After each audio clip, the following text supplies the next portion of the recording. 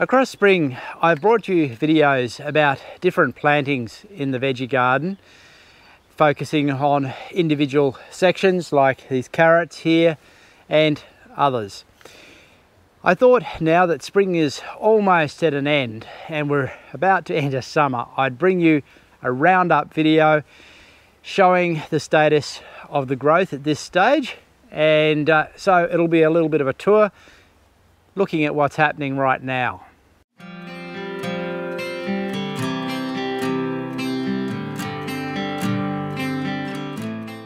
So today we're really starting to feel like it's more summer than spring.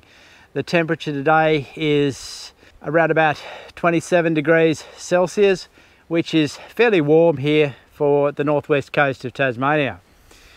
Other parts of Tassie often do get it hotter than we do, but we rarely see temperatures in the upper 20s or 30s. And especially this time of the year, we'd more expect this type of temperature in January or February. The season has been quite good. We have been getting rain, but it is really quickly beginning to dry out.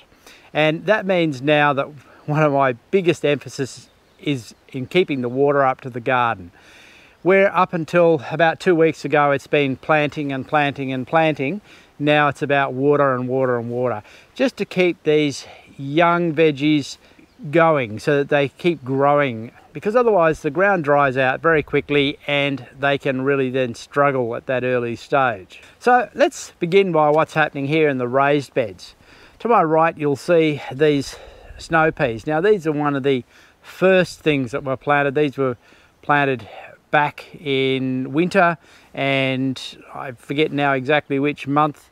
I probably do have it somewhere in a video but I'd have to look for that. We've been picking them quite heavily now for probably close to four weeks. And look, you have to pick them every couple of days because they ripen very, very quickly. They can go from just right to too mature really fast. And it's nice to get that early food coming along. So they're doing really well. With water, they will flower again and get second and third crops through the summer. On the other side of these, there's some silver beet plants, which I've put in, and they're just starting to get going. They're wilting a bit today in the heat because they're not used to this type of sun, but they're really starting to take off now. This bed here, look, I had silver beet in it. I've pulled that out and I felt that this bed was a little bit uh, low in nutrition. So I've given it a really heavy dose of the litter from the uh, hen house and look, I think I probably won't plant anything more in that until maybe towards winter. I'll let that nourishment break down, let the worms eat that and it'll be ready to grow some uh, leaf crops really because it'll be very high nitrogen initially because of that fresh or fairly fresh manure that I've put into it. There is growing in it this kale. This is a perennial kale and it's the first time I've grown it. Some of it I've cut down to see how it goes and how it comes back, but I've let a couple of them go to seed because I'm going to be quite happy to harvest a good crop of seed from that. So the carrots, I spoke about those and I'm really happy with the way they're going. They've come up really well and I put those in, if you go and have a look at that video, I put them in in pinches and I think they're going to do really well and I'm not really going to need to do any thinning on them. The radishes going great. We haven't been eating as many as we should. In our family I'm probably the main radish eater and it's remembering to come and pick them but there'll probably be a few of those that go too far before I get to eat them. The beetroot is coming on. Now one of the things that I really notice here is because I've got this silver beet plant going to seed is that it's overshadowing both carrots and beetroot around it and suppressing their growth. And that's always one thing that you will find in a veggie garden. If you've got something that's so big, it's not only pulling nutrition out of the soil, but also creating some shade. And it's going to suppress the growth of other vegetables around it. I don't really mind because what it will actually do here is create a little bit of staging that the other carrots at the other end will come first and these will come later and that's a good thing. You don't want them all at once. And the same will happen with the beetroot. So that bed I'm really happy with. Now this one is mostly devoted to zucchinis, but you'll see I put a few lettuce in there, basically because I had a lot from seed that I had planted, and they'll be picked out and removed once the zucchinis start to move quite quickly. I've only got three zucchinis and look that's more than enough for our family because zucchinis produce so heavily and you don't really want more than that. Now in these beds you obviously see this one that I've netted. It has broccoli growing in it and some lettuce that's incidental underneath. I've netted this to keep the cabbage butterfly off the broccoli. I've used this method many times before, find it really successful. This is a crop protection net, generally readily available from hardware stores or online and using some PVC hoops to keep it in place. And that's really coming on well. It will be harvested soon and then that bed will change over to something else. The lettuce, I might let some of that go to seed. This is the bed that I actually planted the lettuce seed in initially, but I took a lot of the plants out of here and put them into other beds. Now, this bed here to my right has only some of these lettuce going to seed, which have been blown around by the wind that we had.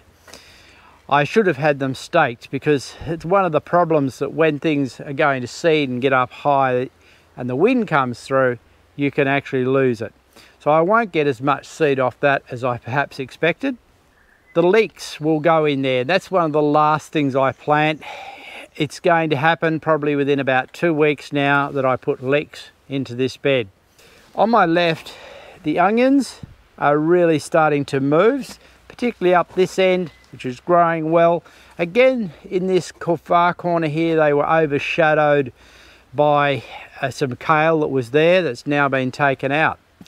I've got the frame in for the climbing beans and they're in the ground. They just haven't come through yet.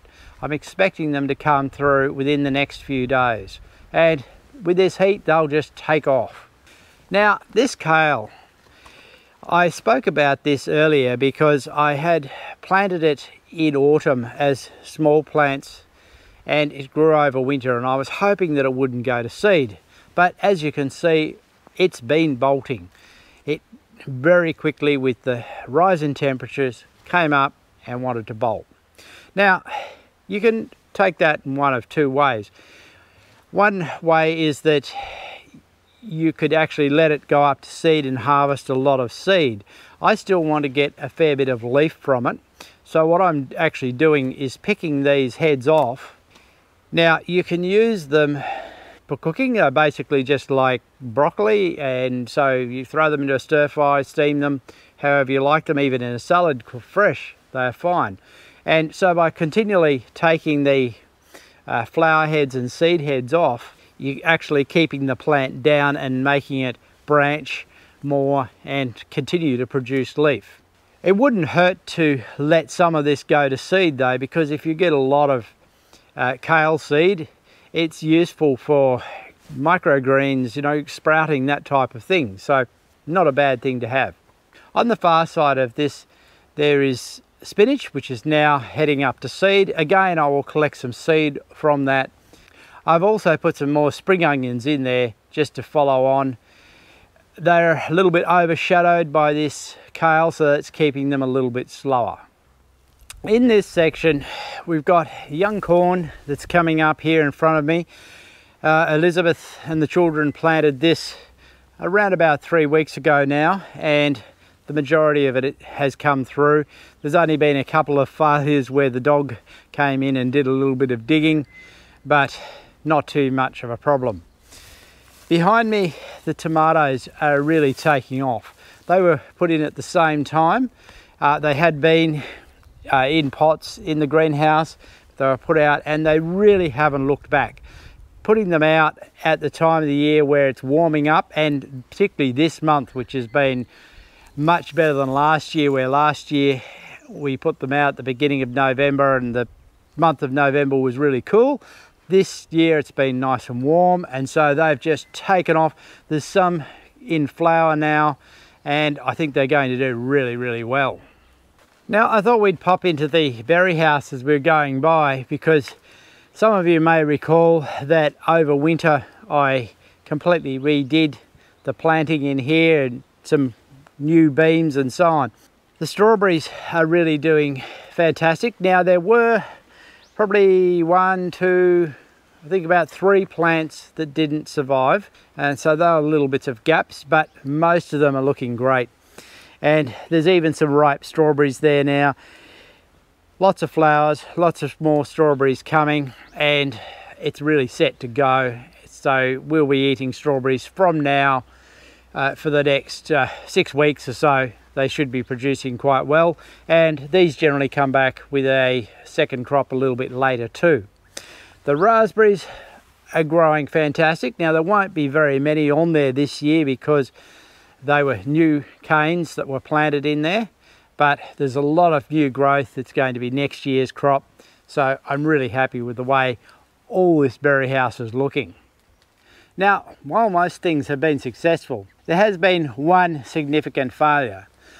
If you recall, I planted chickpeas in this patch and within a few days we had rain, but it wasn't just rain, it was very heavy rain and quite a lot of it. And so it was very, very wet for a couple of weeks. I only had about six chickpea plants germinate in this patch. So it was really a failure. Because of that, I decided to have another go. I cleaned it out again because I had a lot of weeds coming up and replanted it with chickpeas for a second time. Now, I'm still waiting for those to come through. I'm hopeful that that's going to work and we're going to get still a crop of chickpeas out of this. But sometimes you've got that opportunity. I felt that still there was enough window of time to replant and have another go. But other times, you know, you, you've lost too much time and you wouldn't be able to do that. Still, it's a question whether this is going to work. But on the other side here, I did plant the red kidney beans as I spoke of. The children and I put these in and most of these have come up. There's been a, a couple of gaps in this corner but the majority have come up really well and I'm hopeful that this is going to take off. They're loving this heat obviously and so far they're looking really great. In terms of potatoes I have this early crop which was planted in August and it's now doing really well coming into flower main thing with this now is keeping enough water up to it but it looks on track to yield a crop somewhere in December and then on my left the summer crop which well later spring crop whatever you'd like to call it which is only just coming through the ground now as it grows up, I will hill it with these mounds. The, the potatoes are actually in the furrows at this point. And then I will probably mulch it again with straw after I've hilled it. They will move along very quickly now they're just coming through so within a couple of weeks they'll be up so high and I'll hill it and mulch it. Coming into the greenhouse here you can really feel the heat with a hot day like this even though the doors are open at both ends and the wind can come straight through, it's still retaining lots and lots of heat. This new bed that I built over winter is looking really good. I've got three of the Gardener's Delight cherry tomatoes coming on there and they are really starting to move fast. Amongst them I've planted some basil as well as the parsley plants that I put along the front when I did the bed. The basil helps reduce the white fly in the tomatoes, uh, which sometimes is a problem growing in a greenhouse where the air is more still.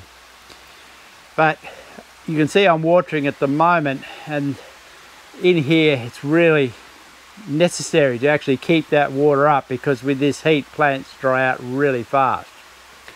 On my right there's the mix of parsley, lettuce, and spinach, uh, some fennel too, all going up to seed. And I'm going to let most of this go to seed before I do anything with this bed now. This one has the capsicums in it and I also put some lettuce in it. Uh, that was from the seed that I had planted outside and you can see how fast it's growing in this heat. It's absolutely crazy. Now it's going to want to bolt up if I don't cut these very quickly. They're really all ready to use. One interesting thing is that I planted two types of seed. I planted Simpson's and Australian Yellow and I transplanted both of them into this bed. Now I can't tell the difference now that they're growing between one and the other. They look absolutely identical to my eye. They taste the same. I can't see any difference between them. So an interesting reference. I don't know if that's supposed to be the case. I know they're supposed to be close, but I can't see that they're not identical. The broccoli here, which was a fantastic crop, really nice and big, has finished and what I'm doing now is progressively taking those leaves off and feeding them to the hens and within a couple of days that'll be finished and I'll pull those out. I'm not totally sure what I'll plant in here yet. I was thinking about actually putting a few more cucumbers. I've got the plants that I could put in here and let some cucumbers run over this bed. The jalapeno is coming back nicely.